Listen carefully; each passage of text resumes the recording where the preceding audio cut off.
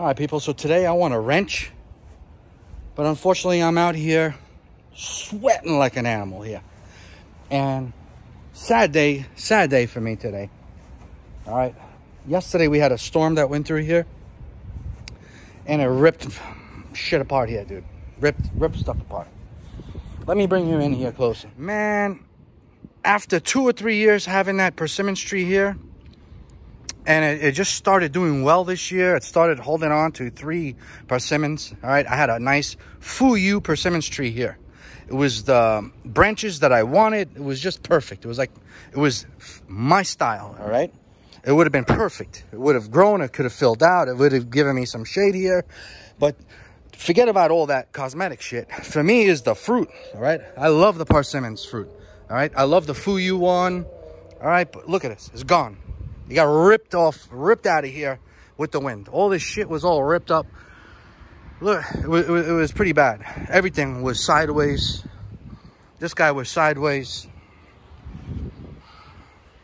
All right, we're just gonna fill it in, put some compost in here. It's hot out. I don't wanna, it's dry, everything is dry. I don't wanna just wet it yet. I'm probably gonna give it water this evening. But yeah, a lot of stuff was ripped up upside down. I'm over here fixing my fig trees that are planted in ground. All right, a lot of them are lopsided. A lot of them lost branches. All right, this is here is lopsided. I got to straighten this out. We had this all over the place. All over the place. I had to fix this one. This is my neighbor that passed away all right this is uh his fig tree that i have growing here in the back. All right i started it as a little cutting and it and it lived. This one here is carlos's fig tree. All right that i started as a cutting as well. It's doing well but i lost a big branch and i had figs on it. So we lost it. So but since it's a nice branch i put it in the ground over there in the shade to see if it roots. I want to carlos's fig tree is definitely a good one. It's a producer. It's got figs everywhere and this one here I had to fix too. This one here I almost lost a huge branch. I just had to put it on a post. I put a thick pole here. See this? Smashed it into the ground. I have it tied up here. I almost lost the, these two. These two here. Almost lost them. They kind of twisted. I hope it I hope it will uh, repair itself. That's it. So yeah, pretty bad. Man, these fig trees give us such a beautiful smell. I love that smell of these leaves. I also love green tea, not green tea, but tea from these leaves. All right, if you dry these leaves, if you dry them up, you can make tea out of it, man. It's amazing. It's like a heavy duty ass green tea. If you guys have ever had green tea or tried it, fig tea leaf, fig leaf tea is like green tea on steroids, man. Shit's no joke all right? This is where i put one of the branches. It's really long. It goes deep. I'm gonna hope that it roots itself. All right? It's kind of late. We're in august.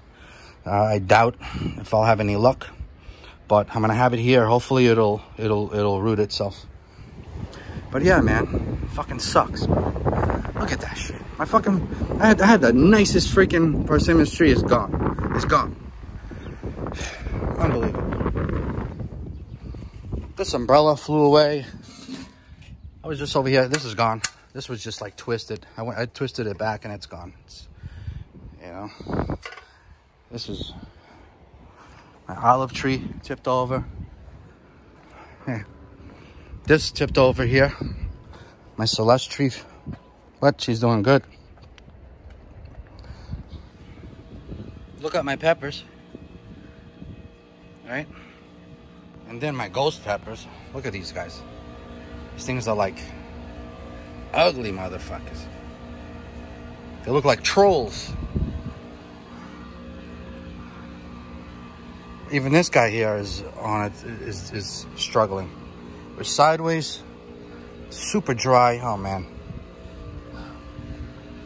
All right, let me fix this guy here. All right, people, so I got a little time now free just a couple hours. Then I got to pick up my daughter. Uh, wish I had more time. Wasted a lot of time out there at my trees, but damn storm messed everything up. So check this out. Let's get right to it. I said I, I wasn't going to customize anything, but yes, we're going to customize a few things. Nothing is ever direct bolt-on with me. Um, if I would just use the real stock plate, it would be bolt-on 123. You get uh, everything that you need with the um, RC Max engine kit for your Primal Dragster, you know? So, but we got a little something different here. We got some hard work here and some beautiful work. We're trying out a new setup. All right, this is KDT Innovations uh, setup.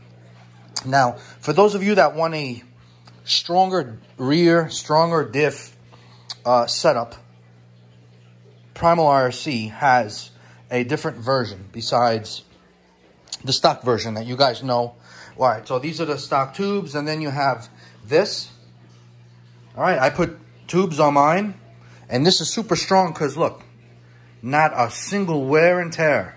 Three years old. All right, it's durable as hell, and it's been proven. People have twins to these without the tubes, and they're holding up fine. Okay, just to give you a heads up. Um, but I have to go different. I want to try different. Uh, so before I show you this and talk about this, Primal has their own version of heavy duty. If you do want to, if you feel like you need to replace these, all right, or do something, they have their own version. And I think they're going on a different version as well in the future. So look into that if you want. Now, what I got here is something completely different, but similar. Uh, actually, complete different plate. This plate here was made out of 7075 aluminum. Here's KDT Innovations. It's wide. All right, so supposedly this plate here, first off, it's super strong. It's like, it's really strong and it's very, it's thick and it's no joke. All right, uh, let me show you. Okay, see that, just to give you an idea. All right, just to give you guys an idea. Uh, yes, you can use this, but I'm just doing something different. All right, this was hard work involved, something different. All right. So, yeah. Okay, so Again, uh, Primal has their own version, all right, their own different upgraded setup that you could check out for yourselves. But this one here, this one here is no joke, all right? What we got here is some special metal axles, kid. This metal here is what they use to make samurai swords, kid. Yes. These axles here is the same metal that people can build some mother effing samurai swords, kid. So I'm all about that shit. Swords and axes, bro. If I hear that, you know I'm, I love my hatchets, my axes. So I gotta have that shit. All right, so that's some special steel. This is just testing, testing out, testing, and see how things go. All right, I did not assemble this. Arnold assembled this setup for me. All right, so I'm not going to even take this apart. I don't even know what was done. I'm just going to go. Keep going forward. All right? And that's it. So definitely super strong. Let's see what happens. I'm also using different hubs. All right? Um, I also have some special hubs made for me if I need weight. So these are the stock ones, right? Not stock, but IRPs. Okay? I actually had to drill them out to make them fit better. I had to mess around with them a little bit. And then I have a custom one made for me. Out of brass, kid. Brass. And this has got some weight, son. This has got some weight to it. So if I need some more traction, a little more weight, what you know about your brass hub, son? What? Brass. No joke right here. Got some weight though. They're heavy. It's heavy, man. So, so uh, just uh, got your lightweight, and then you got your brass hubs. All right, so I got options, kid. Options. And I also appreciate that. That was a beautiful job. Um, yeah, so this is, I love this. And also, if I ever want to do a twin engine, boom, I could fit a twin en engine here like a gentleman. And that big bore is going to go right at home. Very nice here, son. Very nice. All right. That's it. And I, now I got some more weight, too. This is all I need weight for the back. I want traction, best traction possible. You know, a lot of people like to lighten that shit up. Hell with that. I want to add weight, son. I want the stakes. You know? I want the stakes, bro. So, look at that. This ain't no sportsman class. I want the stakes. Believe me, I'm going to do a sportsman. I'll, I, and I'll go right on a diet with my, my sportsman class. Trust me. All right, sportsman class is going to be the most fun. Again, I can't wait. I have so much to do with this, but I'm really can't wait for my sportsman. And that's going to be the easiest, the most fun. I can't wait, but I got to complete this. This is my more work. All right, big bore, extreme class. You got to put in more work. All right. Uh, this, I have paid no attention to it. It is the same. I haven't done nothing. I have no time for this now. You understand? So that's the problem. So I gotta get start grinding, sanding some of this carbon fiber down because this does not fit accurately. All right, so you see that? It does not fit. So now I'm gonna have to start grinding that out, shaping that to fit this. And that's gonna go to here. Yeah, so we got we got a we got some sanding to do. So I'm gonna bring this upstairs. I'm gonna use my sand disc. I'm gonna start shaving this little by little. All right, so stay tuned. Okay, I just got two bolts on right now. All right, so it looks like I gotta shave all this. I'm gonna shave here. Yeah, so I'm gonna I'm gonna mark this and then shave it outside and see how it goes from there. All right, so that's what I'm gonna shave. I think I'm gonna have to shave this as well. But before I do that, I'm, I'm just gonna shave this, this, and see, hopefully it'll fit. If not, then I'm gonna have to shave that. Just gonna suck because I'm gonna have to probably most likely disconnect this. That's it, yeah, so let's get busy. Man, super, super light. That sucker there has got some weight to it, but we're gonna need it. If anyone is interested in something like this, a custom jammy like this, heavy duty quality here, uh, let me know. All right, kind of hard to get. This is just a few of them made, so. And just to let you guys know, I do not have a locker here. There is a diff here. It's not the diff I wanted. It's a Turtle Racing diff. All right. The innovative RCs were sold out at Track Day Hobby, so and couldn't get them, but uh, they're in now. I'm gonna go pick them up, but it's too late. So I'm gonna use the Turtle Racing one. Also, to give you guys just a heads up, I did the Toro Racing one on here as well, um, and I had issues putting the King Motor spider gears in there. So I used the HPI diffs, spider gears. Well, now it's almost impossible to get HPI spider gears. So, King Motor spider gears will work. King Motor diff spider gears, if you sand them down, I don't have this, I had sandpaper here somewhere. Which one did I use? Uh, fuck is it? Oh, here it is. So, I used, so you know those metal squares the metal parts, all right, you have to sand each corner. There's four corners to them. So, so put it, I use this. I put it down, hold a square, flush, flat, sand the shit out of it. Go back and forth, back and forth until she gets hot. Switch it around, do that side. Switch it around, do that side. Do all four sides it will fit perfectly in the Turtle Racing diff. just in case you you guys uh, come across that problem. All right. Most of you guys are probably going to run lockers, but if you have to run diffs, again, diffs is a good idea to use if your track is shitty or, or if you have an issue of going straight. The diff will help you go straight. You understand? So. Yeah, so what am I to do? Got whiz wheels, probably a sanding disc. Yeah. Let's see, let's see what the carbon fiber likes. Actually, actually switcher plant. I got some nice burring tools here, bits. All right, I can port heads and all types of shit with this, right? But I think it's overkill. Let me try some of these cheaper ones. All right, I have these cheaper ones that's been sitting here for a while.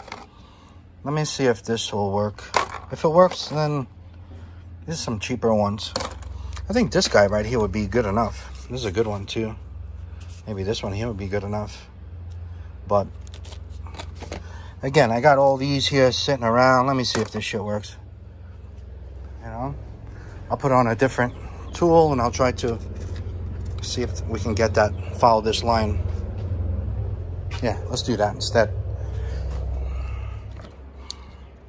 Let me use this guy here.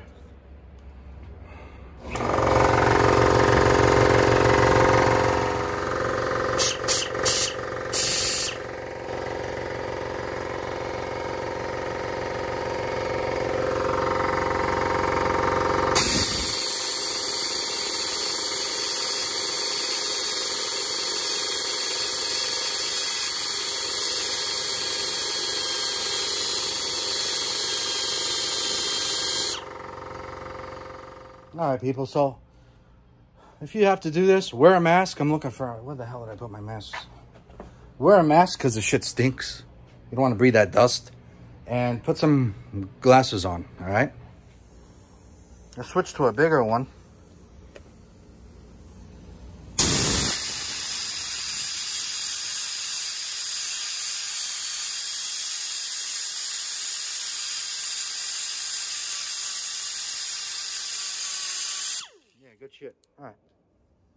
You guys got the...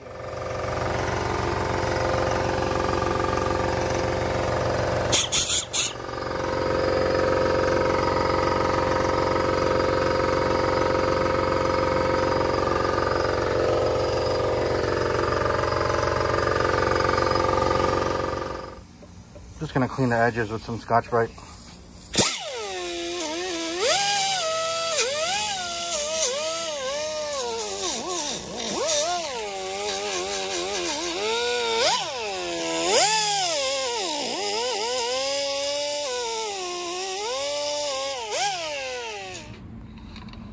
People, look at this. Look at this. Ah, what? The holes, they align? Zah.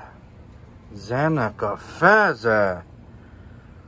Look at that fatty, bro. Huh? Look at that belly. Look at that belly on her. It's got a belly, son. A belly.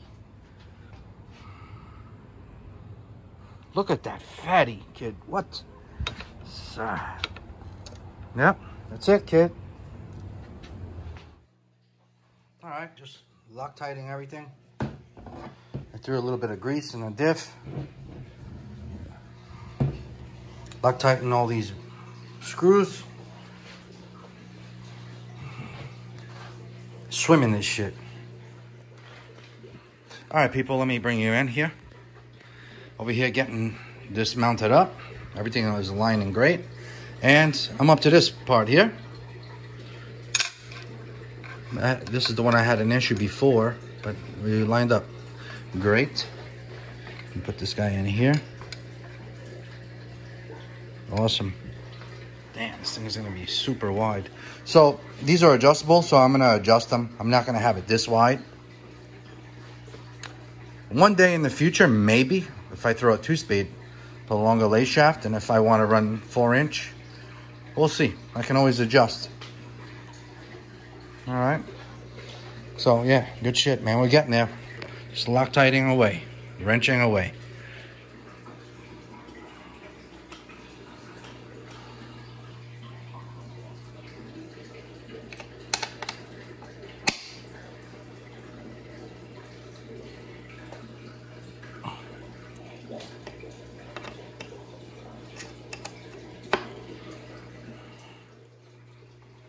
People, all good. Now I'm gonna take a little break. I gotta go pick up my daughter. And then if I have time later, I gotta start installing this engine. Start bolting her up. Gotta get that heart on here, you know? Gotta put that heart. This thing needs to be, needs to come to life. Yeah, that's it, man. I'm happy with it so far.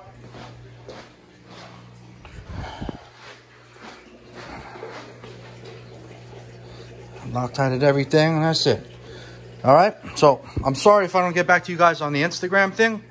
Eh, I'm just too busy, guys. I'll get to you little by little or one at a time, but I just don't have time, bro. And I, I, then I go, I, then I fall back on my YouTube. So if you want to contact me, just go to the YouTube thing, man. Go to the comments. That's the only thing I could do. All right, because I'm always on there. All right. That's it. I'm just too busy right now. There's people want to send me messages, send me this, send me that. And um, I, I, love that. It's cool and everything, but I just don't have time to go over all of them. It's, just, it's impossible, people. I hope you guys understand that. But um, we'll get there. If I wasn't so busy, if I didn't have all these things going on and running out of time and dates coming up, events coming up, that's a different story, man. I'd be all contacting everybody. I'd be getting back to all everyone, you understand? But I'm like, I, I, I got a list of people's names there, friends of mine that I got to make sure they get their stuff. You know, I'm helping not just doing my own thing, but I, I have other people that I'm working with. So anyways, you guys take care. See you in the next video. Man, I love this, man. Look at this. This is a sweet plate, man. Damn. All right. Look at that ass.